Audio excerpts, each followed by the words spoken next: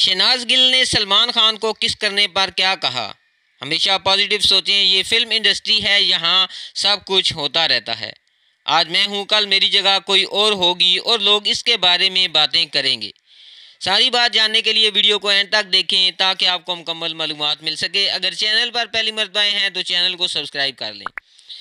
Friend, जैसा कि आप जानते हैं, सलमान खान और सोनाक्षी सिन्हा एक दूसरे के साथ बहुत ज़्यादा क्लोज हैं और एक दूसरे के साथ बहुत ज़्यादा प्यार करते हैं। इसीलिए दोनों ने बहुत जल्द शादी करने का फैसला कर लिया है। लेकिन अब खबरें हैं कि शहनाज गिल आजकल सलमान खान के साथ बहुत नज़दीक नज़र आ रही है। सलमान खान और शहनाज गिल की नज़दीकियाँ हद से बढ़ती जा रही हैं। दोनों की नज़दीकियाँ देखकर सोनाक्षी सेना का मूड बहुत ज़्यादा ख़राब रहने लगा है। खबरें हैं कि जब मीडिया ने शहनाज गिल से सलमान खान को किस करने पर पूछा गया तो शहनाज गिल ने बहुत ही लापरवाही से जवाब देते हुए कहा, सलमान खान मेरे बहुत अच्छे दोस्त हैं और हमारे बीच ऐसा कुछ भी नहीं है। ये तो सिर्फ़ एक शोबिज़ का हिस्सा है। पता नहीं लोग हमेशा नेगेटिव क्यों सोचते हैं, लग जाते हैं।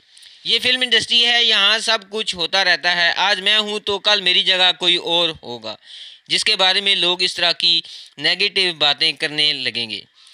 मुझे लोगों की बातों से कोई फ़र्क नहीं पड़ता। मैं हमेशा अपने काम से काम रखती हूँ और हमेशा पॉजिटिव सोचती हूँ। तो दोस्तों, आप शनाज गिल के इस पॉजिटिव सोच के बारे में क्या कहना चाहेंगे?